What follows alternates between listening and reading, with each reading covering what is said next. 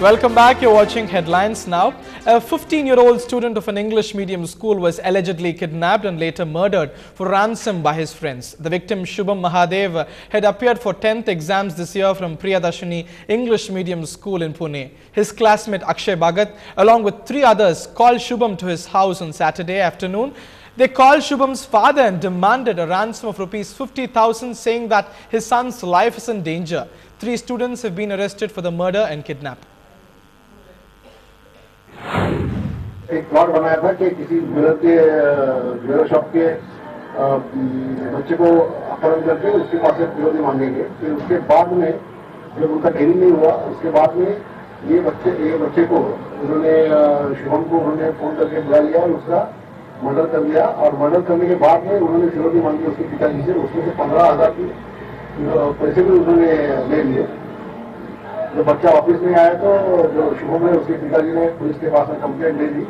और एक ही रात में हमने तो तहकीकत करके तीन आरोपियों को अरेस्ट कर दिया है और इन्होंने डेड बॉडी कहाँ डाली है वो भी दिखाया है Trouble for Vectra chief Ravi Rishi following the bribe bomb allegations by the army chief putting the UK-based company in the dock. The CBI has issued a lookout notice for Ravi Rishi. The investigating agency has already questioned Rishi on the complaint filed by the Army Chief General V.K. Singh. But CBI sources say they do not want Rishi to leave the country just yet. On Friday, CBI had registered a case of alleged irregularities in supply of all-terrain Tatra trucks after receiving a complaint letter by the Army Chief. Voting has closed in Myanmar in the historic polls uh, for 45 vacant seats in the 664-seat parliament. The by-elections are being seen as a crucial test of the country's uh, move towards democracy from almost five decades of uh, military junta. Democracy icon Aung San Suu Kyi had contested the elections for the first time and is widely expected to win a seat in the parliament. Giving the former political prisoner a voice in the government for the first time, international observers were allowed to monitor the elections. India had uh, deputed two election commission officials and Indian ambassador to observe the elections. Delhi police have found a note from the House of Defence Ministry officials who, who was found dead along with his wife in a South Delhi flat. The note allegedly points fingers to a few army officers for uh, pressurizing him at work. Deputy Director in the Directorate General of uh, Medical Services, Kumar Yashkar, and his 32-year-old uh, wife Archana were found dead on Friday afternoon.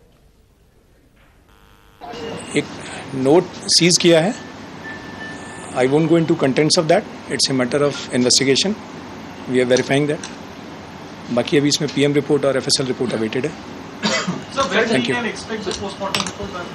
Well, I can't comment on services officer found dead along with his wife in his South Delhi flat on Friday, driven to his death due to work pressures. That is the question that is being raised now. The police have confirmed that a suicide note has been recovered from the couple's flat. They are tight lipped about the contents of the suicide note, but there are allegations being made that in his suicide note, this man had said that his seniors at work were pressurizing him, and that probably led him to suicide and to the death of his wife. The family of this deceased official has spoken out and said that about a month ago, this officer had spoken to some of his family members and said that he was handling the right to information section of the department where he worked in and that he was facing some kind of pressure related to this work that he was doing. Uh, the family members say that they, do not know what kind of pressure this uh, officer was under but they say that he was under some sort of pressure that is confirmed. The police of course at the moment only saying that a suicide a note not even a suicide note. They are saying that a note has been recovered and that they are examining the note. They also say that they are awaiting the post-mortem details of the couple who has died to ascertain whether this was a suicide or whether there was some kind of murder when- or as to whether this man first murdered his wife and then killed himself. All these speculative at the moment but what is confirmed is that a suicide note a note has indeed been found and that the police are going through the contents of this note. With camera person jitin bhutani alok pandey ndtv After 32 rupee a day poverty cap created by created furor across the nation, the government is now extending a helping hand to the poor.